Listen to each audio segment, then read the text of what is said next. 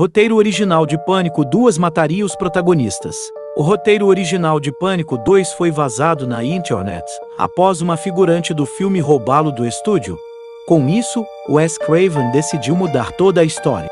Mickey e Holly namorariam, e ele cantaria e Will Always Love You, de Whitney Houston para ela no refeitório. Senhora Lume seria mais perversa do que vimos.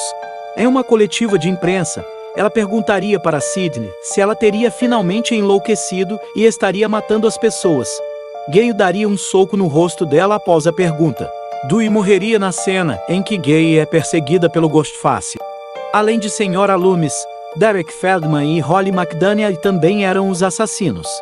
Senhora Loomis mataria os parceiros e morreria logo em seguida após Cotton chegar ao teatro. Cotton teria um surto psicótica e culparia Gay e Sidney por terem arruinado sua vida. Ele sacaria a arma para Gay e ela morreria ali mesmo.